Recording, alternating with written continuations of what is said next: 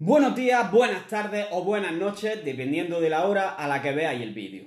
Uno de los errores que más comúnmente me encuentro en los gimnasios es que la gente se compra un cinturón lumbar y lo utiliza para hacer ejercicios como sentadillas y peso muerto, pero también para hacer curl de bíceps, extensiones de tríceps, para dormir, para hacer la comida, para lavarse los dientes incluso para ir al servicio a hacer aguas mayores o aguas menores. Esto es un gran error, no solo porque por tener un cinturón no te va a volver inmortal e inmune a las lesiones, sino porque incluso utilizar demasiado el cinturón y encima utilizarlos mal puede aumentar la probabilidad de lesionarnos. Así que en este vídeo os voy a explicar cómo usar el cinturón lumbar y cuándo se tiene que usar y cuándo no. Además, quedaros hasta el final del vídeo porque vais a tener una sorpresa. ¡Vamos!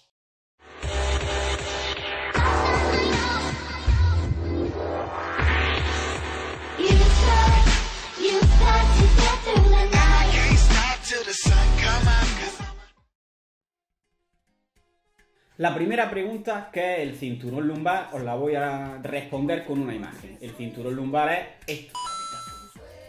Y a la pregunta ¿para qué sirve el cinturón lumbar? De forma resumida la respuesta sería para prevenir lesiones y de forma un poco más extendida nos va a ayudar a prevenir lesiones reduciendo la presión que soporta la columna vertebral durante los ejercicios en el gimnasio. Para ello lo que tiene que hacer es ejercer una presión en torno a la columna de manera que se mantenga mucho más estable. Pero esto no siempre se consigue apretando el cinturón a tope como veremos en las próximas secciones del vídeo. La mayoría de la gente utiliza el cinturón lumbar colocándolo, como es obvio, a la altura del lumbar y apretándolo lo máximo posible. Pero esto es un gran error, amigos. Cuando estamos apretando al máximo el cinturón lumbar, lo que estamos haciendo es ejercer la presión en la columna de una manera externa y por tanto estamos acostumbrando a nuestro cuerpo a que no active la musculatura del abdomen y el lumbar para mantener la columna estable. ¿Qué pasa? Que en el día a día y cuando hacemos el ejercicio sin cinturón no contamos con esta presión externa y tenemos el cuerpo acostumbrado a no realizarla por sí mismo, por lo que tenemos muchas más probabilidades de lesionarnos cuando no usamos el cinturón y estamos acostumbrados a usarlo de esta manera. Entonces, ¿cómo se usa el cinturón lumbar de una forma que resulte útil y potenciadora?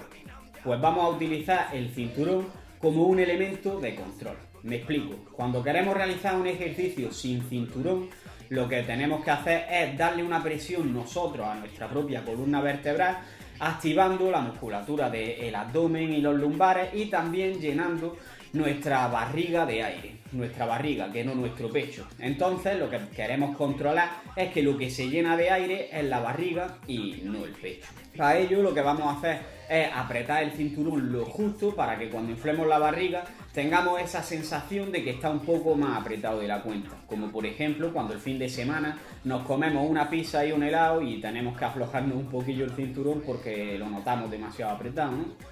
Y en cuanto a la altura a la que nos vamos a colocar el cinturón, se recomienda colocarlo a cualquier altura que se sitúe entre el esternón y los huesos de la pelvis, siempre y cuando nos permita tener esta sensación de que estamos apretando bien la barriga de forma cómoda.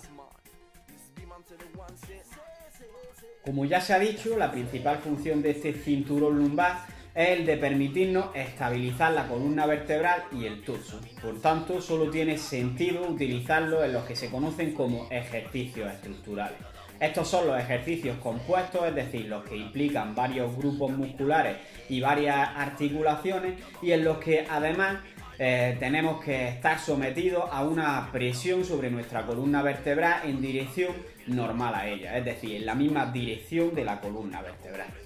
Estos ejercicios son, por ejemplo, la sentadilla, el peso muerto o el press militar de pie. Además, también se puede utilizar en otros ejercicios, como puede ser el remo con barra, que requieren una gran estabilidad en la columna vertebral para evitar las lesiones y nos puede ser bastante útil.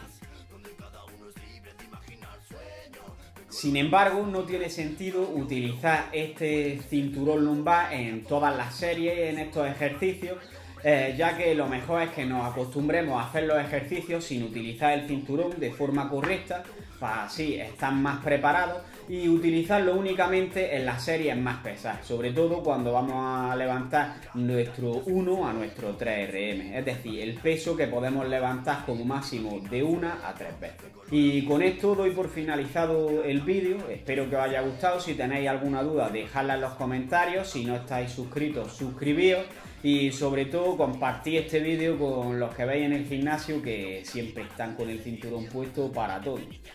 Y nada, espero que os guste, un saludo y a seguir creciendo.